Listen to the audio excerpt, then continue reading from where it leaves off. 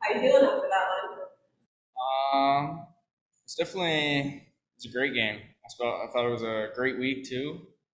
Especially uh, we're finding ways to get points, going into overtime, shootouts, stuff like that. And I thought last night was a, a great comeback too, being down three, going into the third, and then we just found a way to come back and win in a shootout. Thought it was great. And then today, I thought we battled hard, and uh, it's really good to see from all the guys.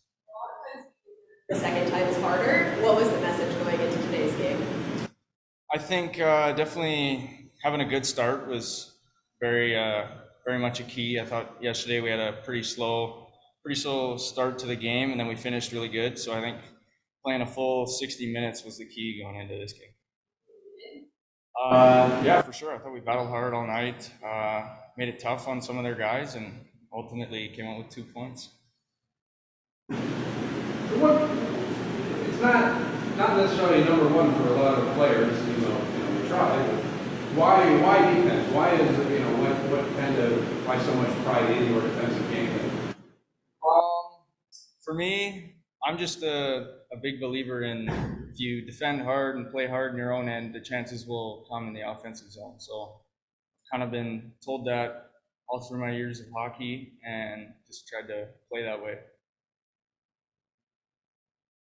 What triggered you making a decision about the Cubs?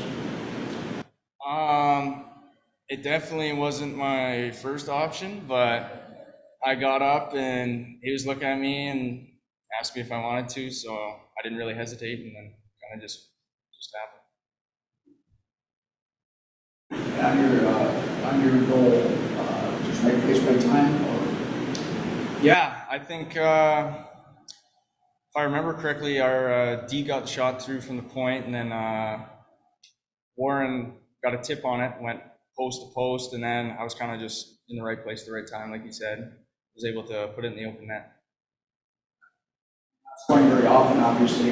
Uh, the last goal was on the first of March. Now you scored on the first of April. Uh, is that a pretense for May? Uh, I'm not sure. Hopefully, I can keep it going with the rest of the games in the season and hopefully in playoffs, but I guess we'll see.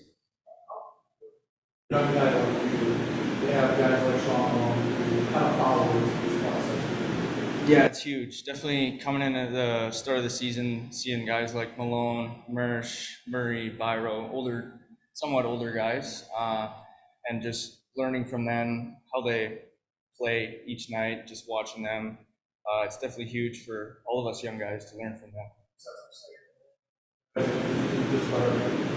First line, third line, whatever it is. You got to kind of dive in what emulate maybe, watch what he does, and the different contributions he can make. Yeah, for sure. I think uh, I'm one of those guys that's willing to play really anywhere in the lineup, and uh, Muggsy has been really good for us all year, and I, I really like watching him play and how he plays the game. He's really good 200 foot player, so try and uh, yeah emulate him and see what he's doing in practice even and in games. Just try and be like him.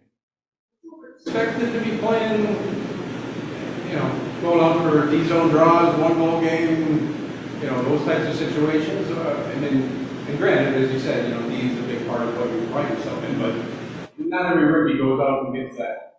Yeah. Yeah, I uh, definitely coming into the season wasn't it wasn't uh, expecting having that kind of role, but uh, I love doing it. Uh, I think uh, I've built a little bit of trust with the coaches, and yeah, like I said, I love being out there when it's close games and being out there for face-offs, stuff like that. Were you trying for an assist at the end? Sorry? Were you trying for an assist? Ah, uh, yeah, I was. Uh, really wanted to see if I get the Gordie Howe, but uh, it didn't work out. Scoreboard watching, standings watching as a locker room, but since you took care of business this weekend yourselves, maybe you'll take a peek tonight. Yeah, for sure. I think it's definitely a tight, tight race right now, and I think if we keep playing the, the way we've been playing these past couple weeks, we'll be in a really good spot.